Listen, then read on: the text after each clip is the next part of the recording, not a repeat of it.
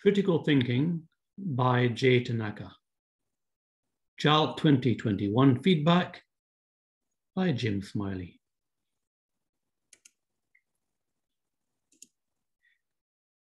Japan faces a serious problem in the coming decades. The Japanese lifespan is increasing such that children born in Japan in 2007 have a 50% probability of living to 107 years old. Furthermore, around 49% of the working population in Japan could be replaced by artificial intelligence or robots. Jobs that will disappear are those that are formulaic, to be replaced by robots, and those that are information intensive to be replaced by AI. Jobs that will be needed are those which require creative and critical thinking skills and those which involve interpersonal skills. An implication of these statistics is that there needs to be a serious reassessment of the type of education in the lifespan. Currently, the typical pattern is a three-stage model that begins with education for employment and ends with retirement. MEXT intend to change the three-stage model into a multi-stage model, which they call Society 5.0, to better reflect the different employment types and changed demographics. The data and aim were given by MEXT. MEXT are well aware of these problems and have set a target of three core academic abilities that should be mastered at high school in preparation for post-secondary learning. They are one, a solid acquisition of knowledge and skills. Two, the power of critical thinking, judgment, and self-expression. Three, an independent willingness to work with, learn from diverse range of people. However, many educators have noted that even university students do not exhibit critical thinking skills. Minishima analyzed how critical thinking is taught in high school. He translates MEXT's definition of critical thinking as to go beyond a mere understanding of facts and opinions by comparing your understanding with other facts and opinions, including your own, analyzing and evaluating it based on your own knowledge and experience, and integrating it with your existing knowledge. Note the three basic task groupings. He presents a typical example from a high school textbook. What are the advantages and disadvantages of studying abroad? Students working with such a question are likely to investigate their opinions, gather relevant facts, and then exchange these with classmates. These actions satisfy task group one. However, it is hard to see how this type of question allows task group two to be performed by students. In the experience of many post-secondary educators, most students perform task group one well, but task group two is ignored. Task group three is also ignored, but for different reasons. Unless there is some way to check knowledge integration, it is assumed. However, this assumption relies on students' willingness to accept the perspectives of others. This brings us on to Jay Tanaka's presentation at JALT 2021 entitled Applied Critical Thinking, Students Exploring Social Media. The abstract stated that Tanaka will review the pedagogical features, teaching steps and caveats of this approach. My own research with students at Jinsha has focused on issues in the development of advanced academic thinking in preparation for writing the Sotsuron, the graduation thesis.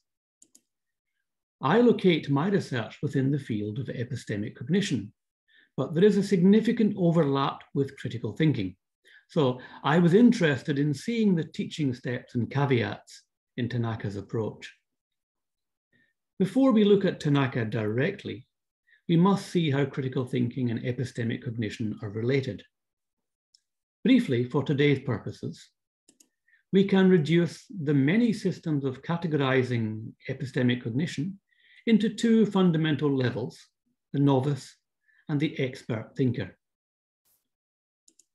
A novice thinker is characterized by didactic and reproductive beliefs where knowledge is defined by authority, is absolute, where teaching is seen as transmission.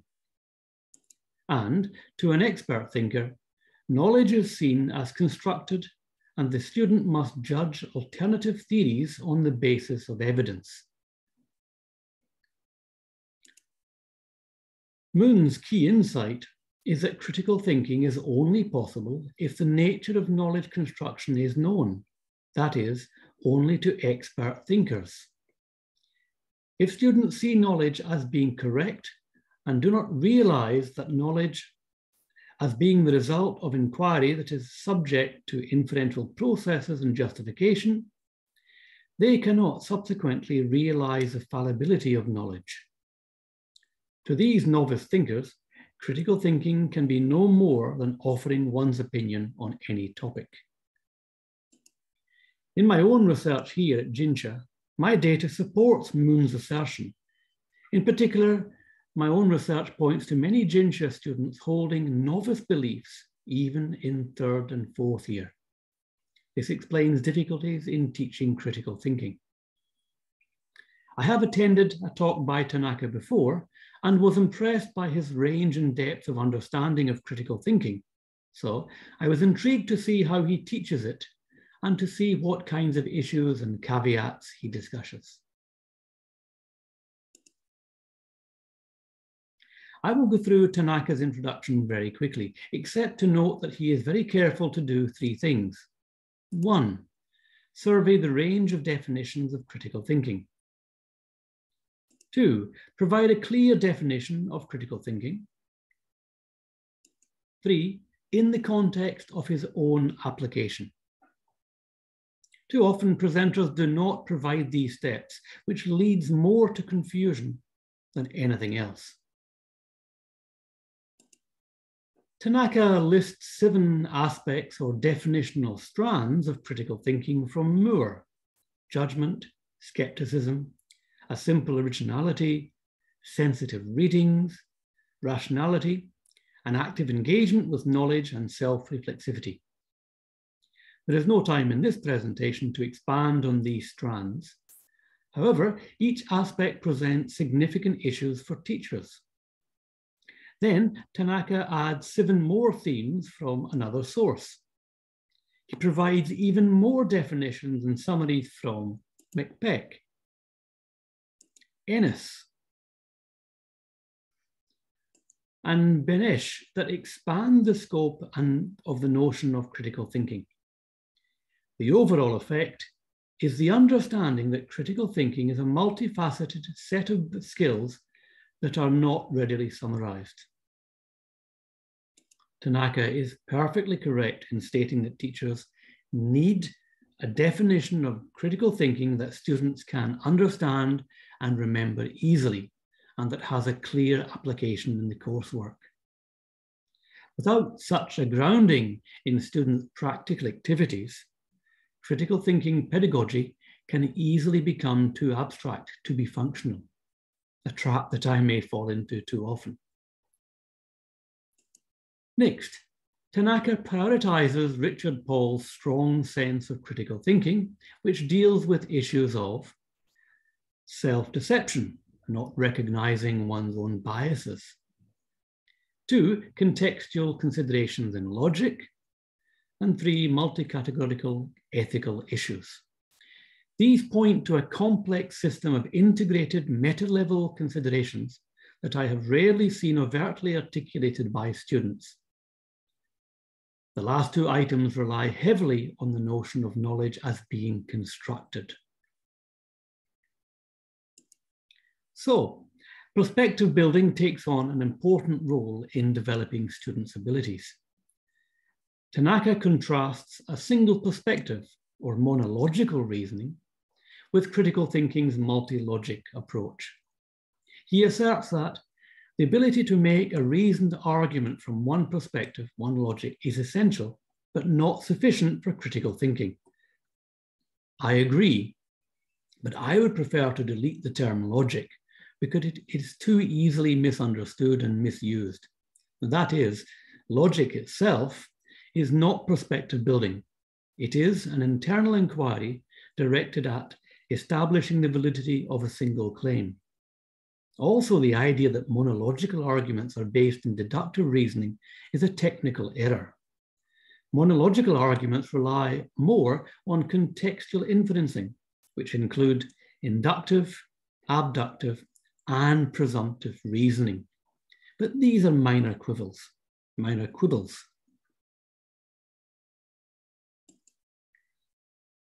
In goal setting, Tanaka rightly draws a distinction between well-structured goals and ill-structured problem solving without explaining these concepts directly.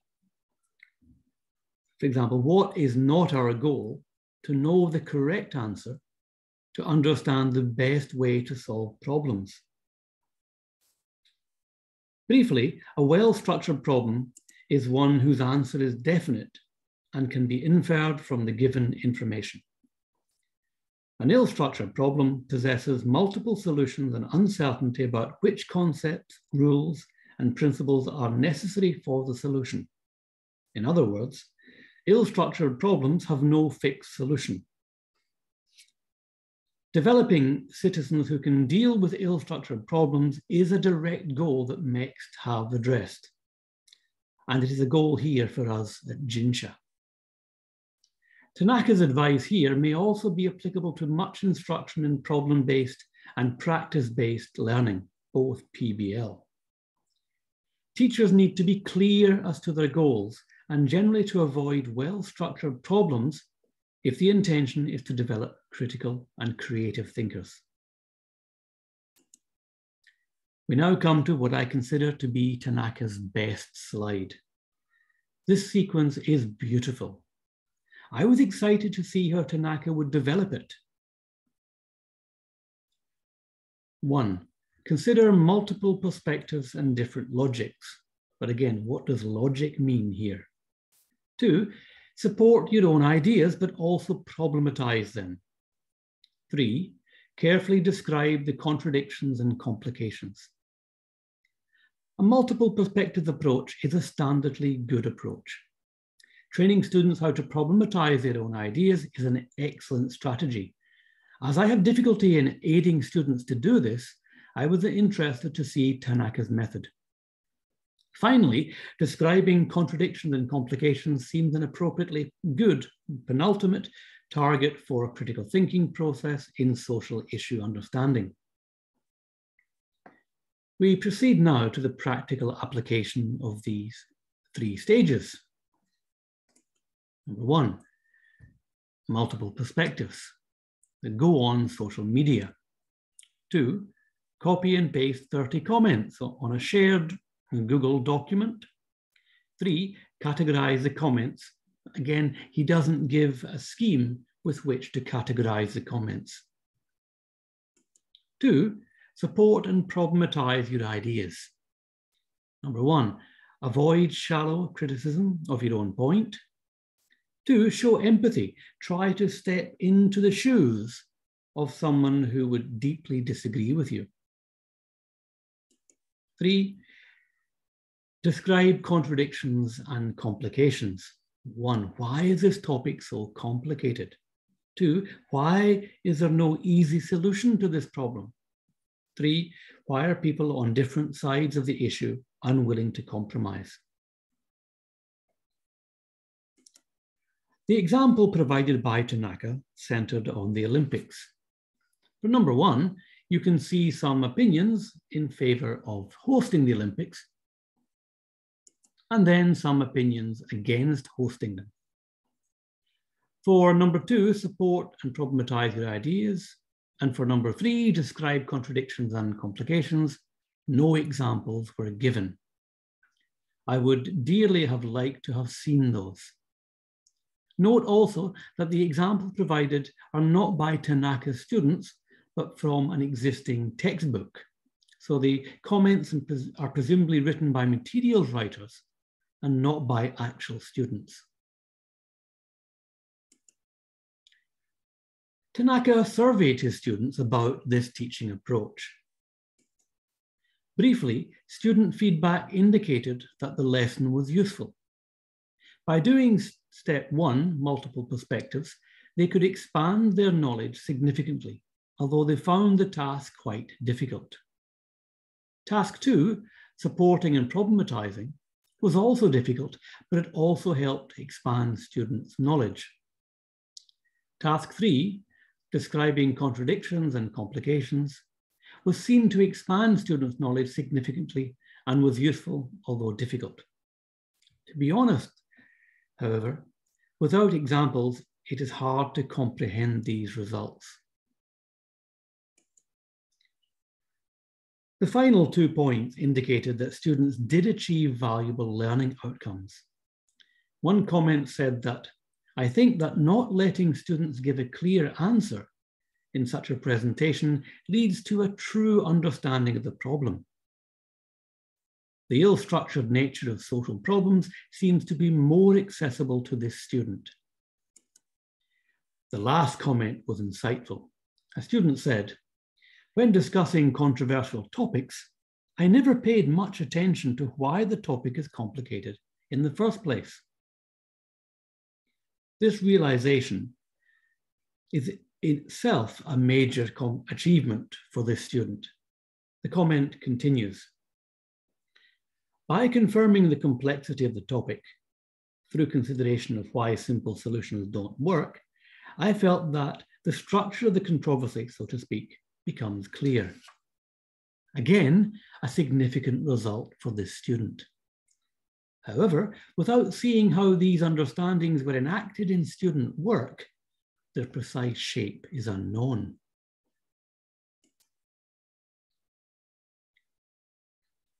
Tanaka provides a very promising sequence for teaching critical thinking. His three steps are purposeful, clear, and develop on each other. He begins with a standard search for multiple perspectives. This continues with an investigation, that is, problematize, of one's own biases. I presume that students are also expected to problematize all perspectives that they have collected. This, however, would take a lot of class time. The target aim is for a wider appreciation of the target issue, which is operationalized by the collection of two lists, a list of the contradictions in the issue and a list of the complications in the issue. This sequence extends a typical approach that merely collects opinions and facts. Furthermore, the inclusion of self-problematizing enables the beginnings of self-reflection.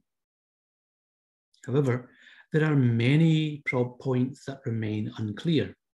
I will conclude by noting some of the issues that remain and by offering some suggestions for teaching. The main issue I see in this approach is that it promotes a multiplistic epistemic cognition, not a sophisticated one. This means that various perspectives are collected, which is good, but there lacks an evaluation of perspectives in the sense that certain perspectives are likely to be more productive in certain contexts than others. Without a clear context for investigation, students' sense of good or bad perspectives is likely to be judged by their own opinion, not by any established reliable means of verification or justification. In other words, the old fact versus opinion mind, problem mindset is continued. Problematizing one's own perspective is a useful activity. However, students need to learn methods of problematizing.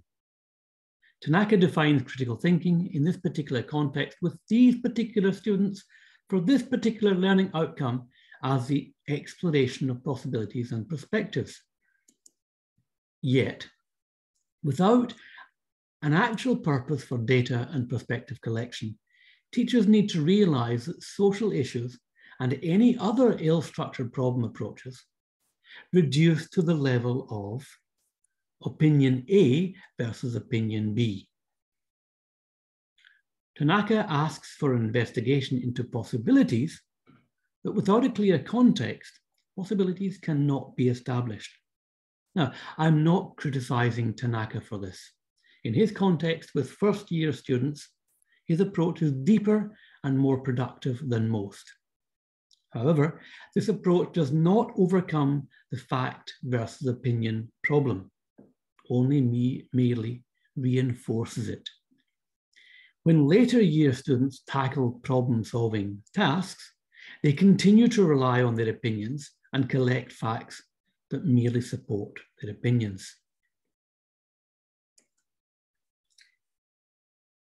Uh, the main problem is that the issues we use in the classroom are based on values and morals. That is, we ask students to give their values on a topic. Students cannot, I'm sorry, values cannot be challenged easily. To say that person A's values are better than person B's values is wrong. To overcome this problem, I suggest that every social problem is framed within a particular theoretical framework. Initially, the framework is provided by the teacher, and in the later years, students may purposefully select and use relevant frameworks that they have already learned. Let's take the Olympics Games theme as our example. I will give this example in a simplified manner, but teachers are encouraged to extend the approach in as deep a manner as possible. To review, here are the two opinions that supported the Olympics. Yusuke said, Yosuke said, it sounds exciting because hosting the Olympics can boast, can boost the economy. A lot of money is spent on goods and services, which will bring benefits to the host city. And Erika said, I approve fully of hosting the Olympics.